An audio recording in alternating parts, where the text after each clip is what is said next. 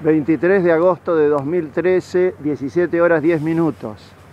La imagen de un perrito atropellado en el cruce de ruta 41 y la avenida Coronel Dorrego. Segunda semana que el cadáver de este animal está aquí. Ya lo había denunciado ante el 147 hace más de una semana. No hay ninguna respuesta de la municipalidad.